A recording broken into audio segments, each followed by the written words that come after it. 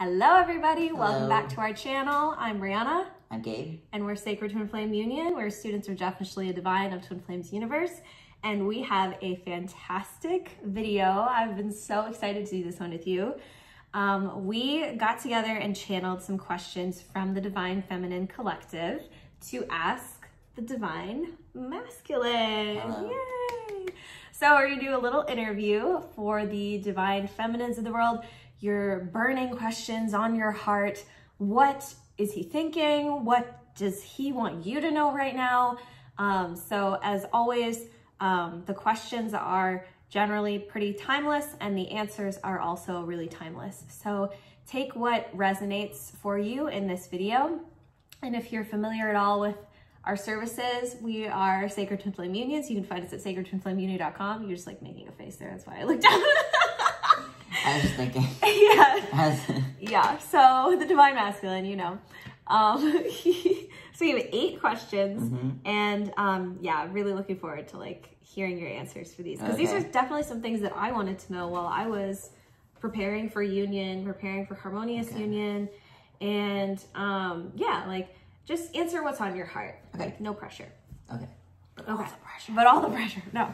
Um, okay. So first question for from the Divine Feminine Collective to the Divine Masculine is how did you feel while you were in separation from your Divine Feminine?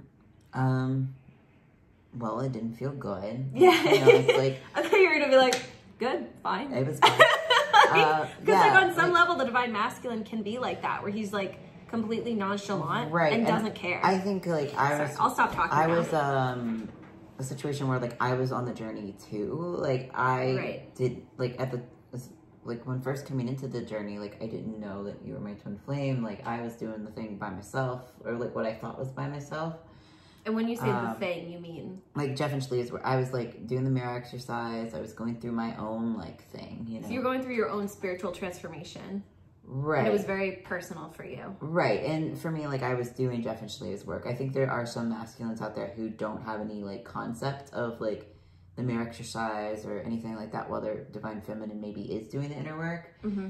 Um What about before Jeff and Shaleia's work? Like as you were kind of coming into it, because I know I had years and years of like looking at psychic YouTube videos, years and years of like mm, trying to find like spirituality information about the twin flame journey yeah. without even reali- realizing that that was what I was searching for. Like, what was that experience for you? for like? me like i was i was an atheist um as far as like as far as like noted like spiritual like practice but i was always kind of like looking for like god spirituality and things like i noticed that about myself is like i wasn't um i just um oh i don't believe in god it was like i was in a very like fundamentalist like christian like family Mhm. and then as I started to break away from the church, I was like, like studying other like, um, I was like, pay. I was like, oh, I'm gonna study like paganism and Mm. all these other things. And um, I briefly studied like a Japanese religion while I was over there. I was like, oh, what is this about? So you're just like we're exploring. I was like, I was dabbling, but I was like, I never, but I wasn't like convinced yet, you know, like of God. And I didn't really have a concept of twin flames. I just wanted to like Yeah. find my person, which I think is very common for most people. Um, just like wanting to find their like person. That's that the d- desire. But you weren't like uh, lusting after your divine feminine. You were just like exploring all these different avenues of spirituality. Well, yeah, I was like looking for spirituality, and like, of course, I was like, of course, like I said, I was like looking for my person, but like I didn't have like the conscious concept of a yeah, twin like flame. the self awareness, I guess. Right, and, and I was looking for my person in the way I feel like everybody looks for their person. Right, like Yeah. very normal. Yeah, it wasn't like, you know, Gotta find you. until like until I met like my false twin flame, like that awakened me to the actual like twin flame like journey. Yeah. I wasn't aware of that depth of spirituality. Mm, makes Mhm. sense. Okay, cool. So the second question from the Divine Feminine Collective is Can you feel what the Divine Feminine is feeling? Sometimes, yeah, Okay. like um, This is good. I feel like Tell the it's people. hello.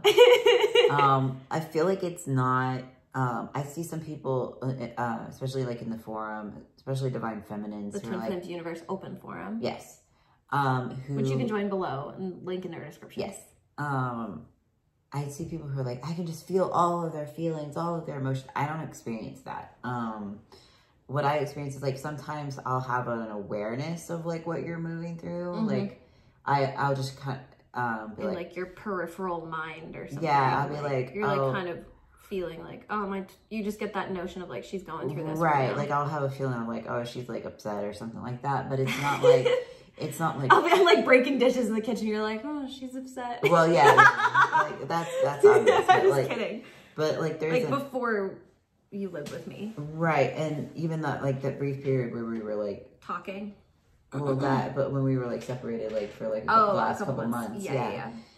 um I'll stop talking. Sorry. Like, I'll let you do this. i wasn't fully aware of like I know, I just know that she's feeling this right now. Like, there was a lot of times where I was like, I'm not sure where she's at. And all I could do was tap into what I felt and just like move through that. Because I think, um, you know, there's a lot of like, oh, I can just feel everything they're feeling. All of this isn't mine. And I don't have that. Like, I feel like when I feel something, it is mine because like we are like one, Mhm. but like I have my own pieces of it, right? you have your own experience. Of I have my own experience of reality, and you know, maybe other DMs are different, but like, um, like you're still gonna have your own experience of reality, and if you feel it, it's within you to heal. It's not Mhm. just like I feel it and it's theirs. Like, um, What is he gonna do? I, ho- I hope he heals it. Or... right, right. Like you're not a victim, and you're not beholden to your twin flame healing their upsets or Right. not. Mhm. You have full uh, control, like autonomy. autonomy, uh, command of like your reality. Mhm. So if you're feeling it, you can heal it. It's not Yeah. like it's theirs to heal. It's not mine. Like that's like passing the blame, and that's actually affirming separation. Mm. Um, to say like I feel what they're feeling, and they're not healing it. So what do I do? Like you can do the You- mirror you can exercise. heal it. it. Yeah. Um, because you're one. Mhm. Um, but I would say like it's not like a constant awareness of like what you're feeling. It's just Right. like sometimes I've noticed like we'll be going through the same thing. Mhm. So it's like, oh, it's different. Like it's Right, not yeah. the exact same thing. Like it's not like we're having the exact same thoughts and the exact same healing. right. Like sometimes we'll both be going through like physical pain. Like sometimes we'll get the same like physical pains I've noticed, and we'll be like, oh, I was just healing X Y Z, or I was just healing um, depression or whatever. We'll move through the same things, but Mm-hmm. um, because we're one. But it's not. But I have my own experience of it. It brings up different things for me. Mm, amen. Mhm. Nice. Okay. So how did you know, and question number three, how did you know you were ready for union? I guess it was just a feeling, and also like this idea of like um like love doesn't hesitate. Mm. For me, it was just kind of like it was very like natural. It was just like okay, why not? Like Right. um, and of course it was like once like we uh knew that we were twin flames, it was like okay, well, let's go. Like, Yeah. um and that's just how like i felt about approaching it um and i guess in some ways like i feel like maybe like there was like more for us to like learn but we, like we probably wouldn't have learned that if we hadn't like come together Right. and like um so it's like it's just like the call of love it's like when it felt good and Mhm. i went you know we went for it Perfect. Mhm. Okay. Um, question number four. Did you ever run or chase, and what was that experience like for you? i did with my false twin flame i feel like uh, maybe a little bit with you but like not really because like runner chaser of course is not um the bad i hope that didn't cut off sorry we had a little No, no, it's it's still still going. See. cool Yeah. Sorry, Uh, the pop up came up. Yeah there's phone. like a low battery pop-up that comes up um I can plug this in while you're talking. yeah so um i feel like i didn't really do this with you so much Yeah. um, but with my false twin flame i felt like i was doing that of like trying to like get something from them um Yeah. you know like Sorry, guys. texting, like hoping to get a response and stuff like that. And of course, like runner chaser doesn't actually exist. It's just Right. like you running from yourself. And with your false twin flame, like they're gonna mirror some of that stuff too, but not Right. like your twin flame will. Right. Um, but it was really just me running from myself, trying to get love outside of myself, trying to make um, that person my source. And of course, that's Right. gonna make anybody like run because like it's very, um, because you're not like going within, you're not connecting with God. Mhm. And yeah, it wasn't a great experience because you're always like thinking that the love is outside of you. You're always like, oh, I have to wait for my love. And then like it feels really bad because you, you become kind of like codependent, needy. Yeah. Um, whereas like if you're doing your mirror exercises, like you're doing that love, you know, experiencing Self-love. that self love, then you don't feel that as much. Like of course you want to be with your person. That's a natural desire. That's not innately like codependent. No, That's no, like no, a no. natural healthy desire to want to be with the person that God created for you. Like Yeah. duh. Normal. But like it becomes a problem when you think you need them for love. Yeah, amen. Mhm. Okay, so a couple more questions. How can your defi- divine feminine best love you right now? Uh, love yourself. Mm. Like, and I know that sounds like, oh, just love yourself, but like that's Cheesy. that's really it. Like that's it is. That is it. That's the whole because thing. um like with a soulmate relationship there's a lot of compromise there's a lot of like making each other your source there's like it's an old like way Deals. deals like Negotiations. negotiations and like there is like a like a negotiation type like phase of like your harmonious or like your union your harmonious union of like figuring out like how you work together like oh yeah, but that's not so much negotiation as it is Right. communicating. um like Shaleia describes it as like a negotiation like upset phase and uh, Oh, yeah. in romance attraction but um TwinFlamesUniverse.com. yes um but like the uh it's really just loving yourself healing through your upsets. Like don't look at your divine masculine and say like i need him to change. I need him to leave her. I need him to do all these things. Right. because you're putting him outside of you you're making him separate from you just with that like affirmation of i need him to do something in order to have my good. That is like you're putting your happiness you're putting your stuff like you're putting your good dependent on him you're making him your source and that's not it like you have to go within you have to love yourself you have to connect with god and that's how you're going to manifest your union that's how you're going to see change from your twin flame not by expecting anything from him but by like changing within yourself Mm, amen. Well said. Mm-hmm. Okay, did you ever have dreams of your divine feminine and how would you connect with your divine feminine while in separation?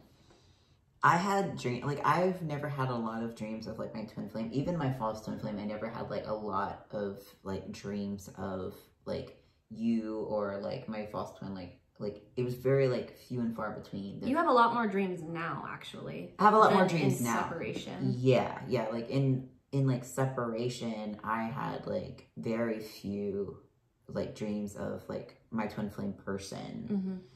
hmm um like there were dreams that I thought were like maybe like there was the same energy, but oftentimes they were just like whatever dreams about whatever I was going through, and even like Mhm. some like weird dreams like that didn't really make sense at the time.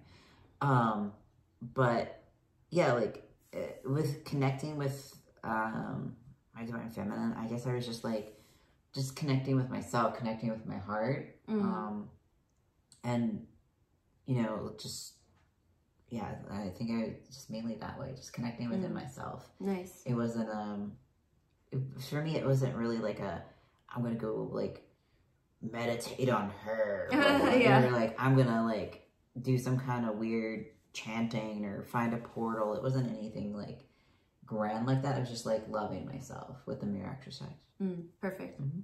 Okay, two more questions. What is your favorite thing to do with your divine feminine? I think it's fun, like just when we like connect and we like do inner work together, just have like really nice conversations. Mm. Um, before we knew we were twin flames, like one of the greatest things, we went to um, Toronto for the first uh, Twin Flames Universe live like workshop, Yeah. and like after the first day, I think it was the first day, um, like we were in our Airbnb, just like chatting about what we'd heard and just kind of laying Mm. out, just like processing. And I remember that being the most like peaceful time Mm. as we were just kind of sitting on the couch. You were pulling cards. It was like Mhm. um like storming outside, and we were just Mhm. like and It was. I do remember this really well. Actually. and the Airbnb just had like like um like basically a balcony and like clear you know like a clear like windows and doors and stuff. like glass windows and doors, I guess. And um, like you could just see, you know, the storm and everything, and it was just like a beautiful moment of like very peaceful. I just Mhm. remember that very vivid, vividly, and like whenever we do like inner work or stuff like that together, it's like usually pretty peaceful. Like it can get contentious if we're moving through something pretty heavy, but Mhm. um, it's like a nice peaceful time to like process healing. Mm, that's nice. Mhm. All right, final question from the Divine Feminine Collective to the Divine Masculine is do you have a do you have a final message for the Divine Feminines who are still in separation from their DM? What do you want to say to all the Divine Feminines out there? Don't give up. Um, I think it's very tempting, to, especially if you're new on the journey.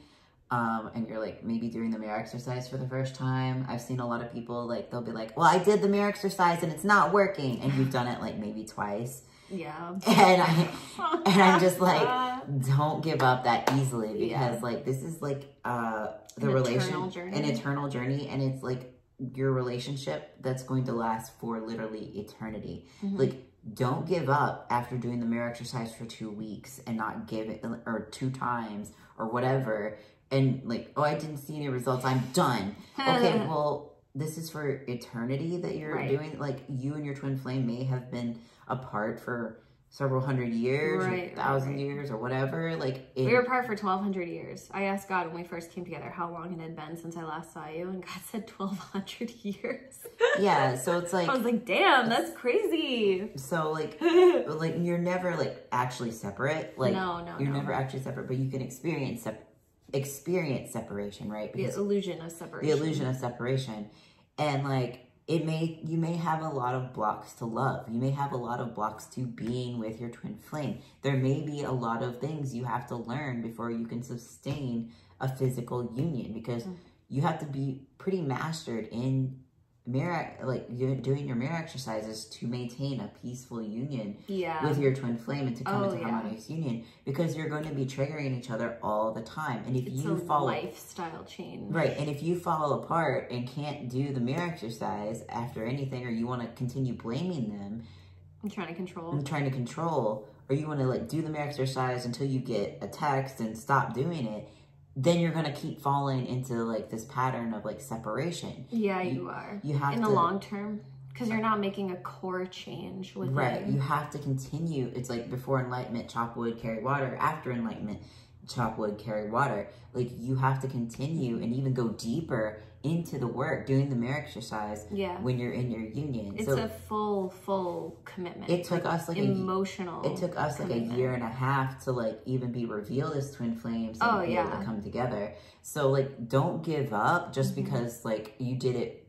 you know, every day for two weeks. We have done it every day for three years and we still have to keep doing Oh the mirror yeah, exercise. it's still such So, a process. don't but it's give the up. best. It's worth It's the it. best. It's There's no other way that I want to live or that you want to live. Like Right. besides like the spiritual path. it is a lifestyle change. And if you're not ready to have, you know, to Mm-hmm. it's do an eternal lifestyle change. Like, right. it's not just this lifetime. right. Because It's, like forever because you're changing forever. Right. Like, it's ultimately huge. for your ascension. It's ultimately Mm-hmm. claiming your divinity and your divine self.